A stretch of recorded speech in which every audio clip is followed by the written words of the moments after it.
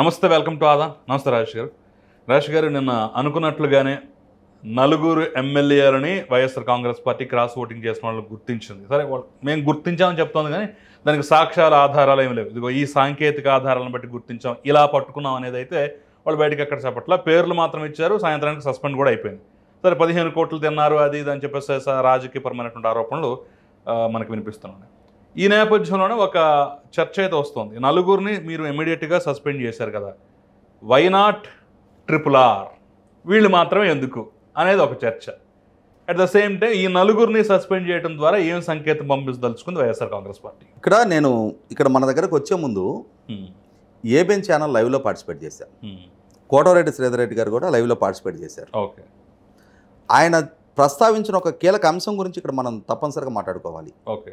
ఆయన ఏమన్నారు అని అంటే నలుగురిని ఐడెంటిఫై చేసి సస్పెండ్ చేశారు. ఏ ప్రాతిపదిక మీద? నలుగురు క్రాస్ ఓటింగ్ చేశారు అని చెప్పని. జరిగింది సీక్రెట్ బ్యాలెట్. అవును. సీక్రెట్ ఓటింగ్ జరిగింది. సీక్రెట్ ఓటింగ్ జరిగిన దాంట్లో ఈ నలుగురు క్రాస్ అవుట్ చేశారని చెప్పని ఏ ప్రాతిపదిక మీద ఐడెంటిఫై చేశారు?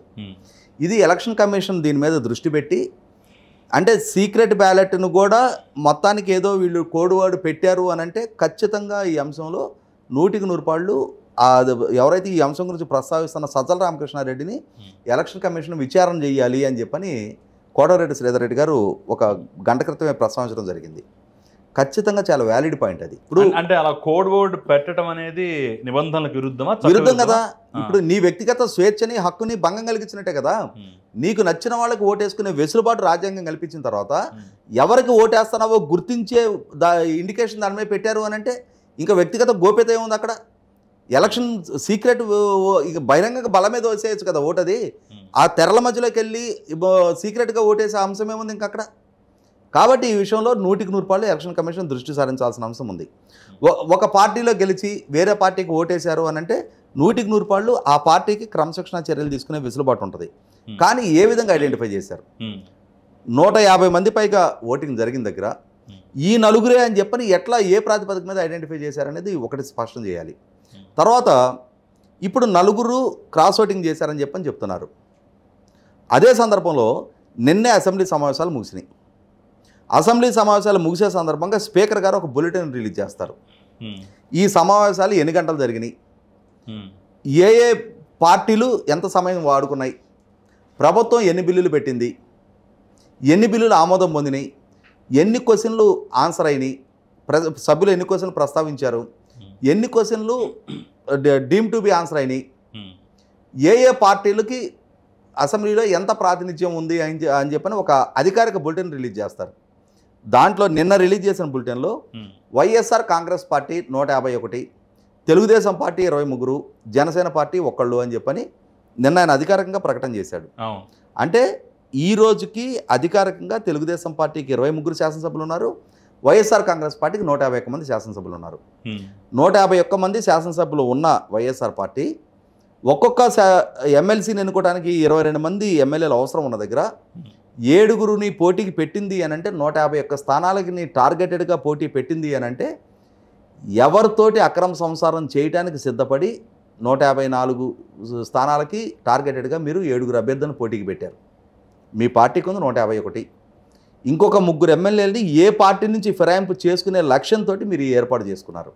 అసలు ఏ దురుద్దేశంతో మీరు ఏడో అభ్యర్థిని పోటీకి పెట్టారు. మొట్టమొదటి దానికి సమాధానం ఈ సజ్జల రామకృష్ణారెడ్డి ఇదే జగన్మోహన్ రెడ్డి ప్రజలకి సమాధానం స్పష్టంగా చెప్పాల్సిన అవసరం ఉంది. నైతికత మా పార్టీ నుంచి ఫిరాయించారు తెలుగుదేశం పార్టీ డబ్బులు ఇచ్చి కొనుక్కుంది ఈ ఆరోపణలు చేసే ముందు అసలు మీరు ఏడో అభ్యర్థిని పోటీ చేసే సంఖ్యాబలం మీకు లేనప్పుడు ఎవరి ఏ ప్రాతిపదిక మీద పెట్టారు? అంటే తెలుగుదేశం పార్టీ నుంచి నలుగురు జనసేన నుంచి ఒకళ్ళు మీతే సేల్ అవుతా ఉన్నారు కాబట్టి వాళ్ళని కూడా మీ సభ్యుల్లో లెక్కేసుకొని మీ లేజిస్లేటర్ పార్టీ మీటింగ్లో కూర్చోబెట్టుకుంటా వాళ్ళ కార్ల మీద వైఎస్ఆర్సీపీ జెండాలు పెట్టుకొని తిరుగుతున్నారు అని అంటే దాన్ని ఏ కాపురం ఉందాం ఇవాళ ఈ నలుగురు క్రాస్ అవుట్ చేశారని మీరు ఐడెంటిఫై చేశామని చెప్తున్నారు మీరు. అందులో ఆనవ రామనారాయణ రెడ్డి గారిని కోటంరెడ్డి శ్రీధర్ రెడ్డి గారిది ప్రత్యేక వ్యవహారం అది. వాళ్ళని కనీసం మీరు ఓటు అడిగారా? మీ విప్పు ప్రసాద్ రాజు గారు ఆనవ రామనారాయణ రెడ్డి గారికి ఫోన్ చేసి ఓటింగ్కి వస్తున్నారని అడిగారు. ఆయన వస్తున్నానని చెప్పారు. అసెంబ్లీకి వచ్చిన తర్వాత చీఫ్ విప్ని నేను ఎవరికి వేయాలి ఓటు? ఎందుకంటే మీరు క్లస్టర్లుగా విభజించి ఒక్కొక్క అభ్యర్థికి ఇరవై రెండు మందిని కేటాయించారు కాబట్టి ఆయన మిమ్మల్ని అడిగారు ఎవరు ఓటు వేయాలి అని చెప్పని. అవసరం లేదు అని చెప్పని మీరు చెప్పారు ఆయనకి. ఇంకా ఆయన క్రాస్ అవుట్ చేశారని చెప్పని ఆక్షేపించే అధికారం మీకు ఎక్కడుంది. ఆయనకి మీరు ఏదైనా ఒక క్లస్టర్ కేటాయించి ఆ క్లస్టర్లో ఆయన ఓటు దుర్వినియోగపరిచున్నట్టయితే మీరు ఆయన ఆరోపించడానికి ఆస్కారం ఉంటుంది. కాబట్టి మీ అహంభావంతో. మీ వైఖరితోటి మీరు మీ సభ్యులను దూరం చేసుకుంటా. ఉన్నారు. ఇక్కడ ప్రధానమైనటువంటి పాయింట్ ఏంటంటే రాజేష్ గారు మనకి ఇప్పుడు సస్పెండ్ చేసినటువంటి విధానం మీద కూడా అనేక ఆక్షేపణలు అనిపిస్తున్నాయి సహజంగా ఒక దానికంటే ఒక ప్ర- పద్ధతి ప్రొసీజర్ ఉంటుంది. ఏదైనా తప్పు చేస్తే దానికి ఒక క్రమశిక్షణ సంఘం ఆ తర్వాత ముందు షోకాజ్ నోటీసు. షోకాజ్ నోటీస్ ఇచ్చిన తర్వాత ఆ, తర్వాత వాళ్ళ సమాధానం సంతృప్తిగా లేకపోతేనే ఎప్పుడో సస్పెండ్ చేసేట అవకాశం ఉంటుంది. ఇప్పుడు ఏమీ లేకుండా డైరెక్ట్గా ఒక ప్రకటన విడుదల చేసి సస్పెండ్ చేసాం అంటే వాళ్ళు న్యాయపరంగా రేపు కోర్టుకి వెళ్ళొచ్చు. ఇంత అన్యాయం ఏంటంటే రేపు కోర్టుకి వెళ్ళొచ్చు కదా. ఇక్కడ ఒకటి ఏంటి అంటే ఏ రాజకీయ పార్టీనైనా ఏర్పాటు చేసుకుని ఎలక్షన్ కమిషన్ దగ్గర గుర్తింపు కోసం దరఖాస్తు చేసుకున్నప్పుడు. ఆ పార్టీలో ఇంటర్నల్ కాన్స్టిట్యూషన్ వాళ్ళు ఏదైతే. మెమరాండం ఆఫ్ ఆర్టికల్స్ రూల్స్ రాసుకుంటారో వీటిని కంపల్సరీ ఎలక్షన్ కమిషన్కి నివేదించాల్సిన అవసరం ఉంది. అవి రాజ్యాంగానికి లోబడి ఉన్నాయా లేదా అని చెప్పని పరిశీలించిన తర్వాతే ఎలక్షన్ కమిషన్ ఆ పార్టీకి గుర్తింపు ఇస్తుంది. జగన్మోహన్ రెడ్డి గారు చాలా గొప్ప గొప్ప ఆదర్శాలతోటి వాళ్ళ రాజ్యాంగాన్ని రాసుకున్నారు. కానీ అమలు ఎట్లా జరుగుతోంది. రీసెంట్గా వాళ్ళ ప్లేనరీ జరిగిన సందర్భంగా జగన్మోహన్ రెడ్డి గారిని శాశ్వత అధ్యక్షుడిగా ఎన్నుకున్నారు అవును ఎలక్షన్ కమిషన్ దగ్గర నుంచి ఆక్షేపణ వచ్చిన తర్వాత ఉమ్. "ఆ, అబ్బాయి లేదు లేదు మేము అది ఏదో ప్రస్తావనగానే చర్చగానే జరిగింది కానీ మేము దాన్ని తీర్మానంగా చేయలేదు శాశ్వత అధ్యక్షుడు కాదు అని చెప్పని నాలుగు గడుచుకునే ప్రయత్నం చేశారు. కాబట్టి రాజ్యాంగం గురించి రూల్స్ గురించి జగన్మోహన్ రెడ్డి గారికి గౌరవం లేదు భయం లేదు. ఆ పార్టీకి అంతకంటే కనీసం మాత్రం బాధ్యత కూడా లేదు. ఇది మనకు పలు దఫాలుగా తేడతనం అవుతానే ఉంది. ఇటువంటి నేపథ్యంలో అసలు వైఎస్ఆర్ పార్టీ వాళ్ళు ఫిరాయింపుల గురించి ప్రస్తావిస్తుంటే దెయ్యాలు వేదాలు వాళ్ళు ఇచ్చినట్టు ఉంటుంది. ఎందుకంటే ఆంధ్రప్రదేశ్ రాష్ట్రంలోనే. ఫిరాయింపులకు ఆద్యుడు ఎవరైనా ఉన్నారు అని అంటే వీళ్ళ నాన్నగారు వైఎస్ రాజశేఖర రెడ్డి గారు. పంతొమ్మిది వందల డెబ్బై ఎనిమిదిలో రెడ్డి కాంగ్రెస్ తరపున ఆవు దూడ గుర్తు మీద గెలిచి గెలిచిన వారం రోజుల్లో అధికార ఇందిరా కాంగ్రెస్లోకి ఫిరాయించి ఫిరాయించిన నేపథ్యంలో అసెంబ్లీలో జరిగిన చర్చలో ఏం జరిగింది. రెడ్డి కాంగ్రెస్ నాయకుడు బాటం శ్రీరామ్మూర్తి గారు ఈ రోజుకి అసెంబ్లీ రికార్డ్స్లో ఉంది అది. ఏమని ప్రస్తావించారు? చెన్నారెడ్డి గారి వైపు చూసి. పెళ్ళిపేటల మీద నుంచి నవవధువు మంగ మధుపర్కాలతోటి మంగళసూత్రాలతో కూడా లేచిపోయి లేచిపోయినట్టుగా నాలుగు రోజుల్లోనే రెడ్డి కాంగ్రెస్. నుంచి గెలిచిన రాజశేఖర రెడ్డి మీ వైపు వచ్చాడు మీలో ఏం ఆకర్షణ ఉంది అని చెప్పని ప్రశ్నించడం జరిగింది.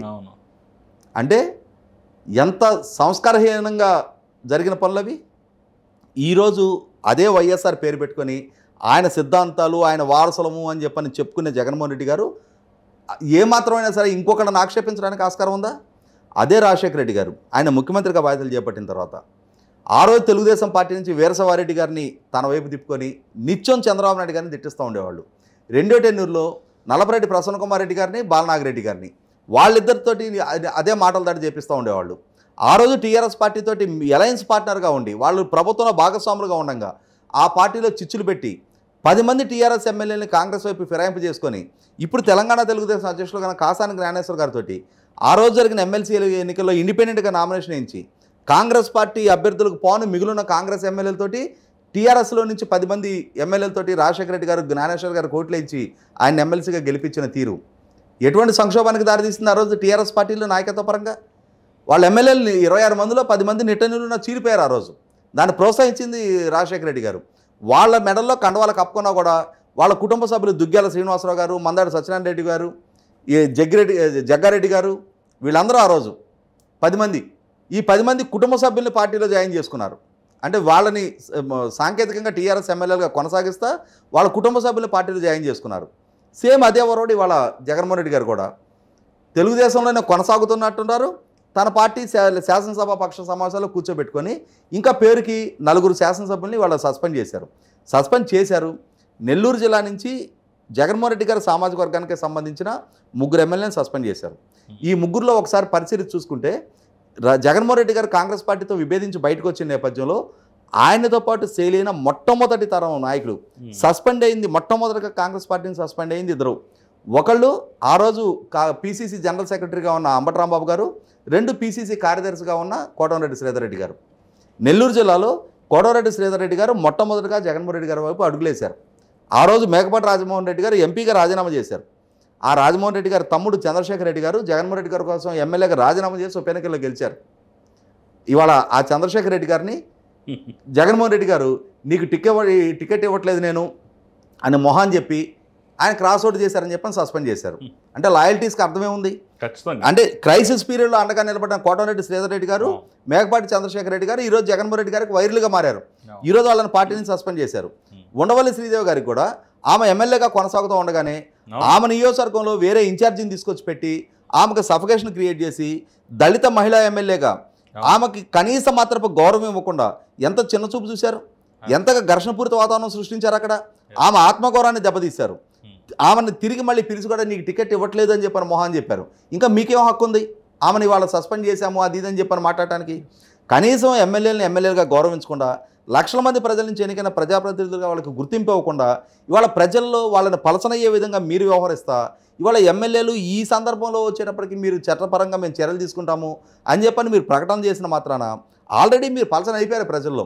ఎప్పుడైతే పట్టపద్దుల నియోజకవర్గాల్లో ఎదురైన ఓటమి ఎమ్మెల్యే కోట నుంచి ఎదురైన ఓటమి ఈ రెండింటిని గురించి కూడా మీరు పునః సమీక్షించుకోకుండా ఎందుకు మన ఎమ్మెల్యేలు మన నుంచి దూరం జరుగుతున్నారనేది పునః ఆలోచించుకోకుండా ఇంకా ఇంకా నాదే అధికారం నేను చెప్పిందే వేదం నా మాట శాసనము నేను చెప్పిన ప్రకారం నడవాలని చెప్పిన ఓ- వైఖరి మటుకు నూటికి నూరు పాళ్ళు అది ఎమ్మెల్యేలకి రుచించట్లేదు. అంతిమంగా ఎమ్మెల్యేలు ప్రాతినిధ్యం వస్తున్న ప్రజలకి రుచించట్లేదు.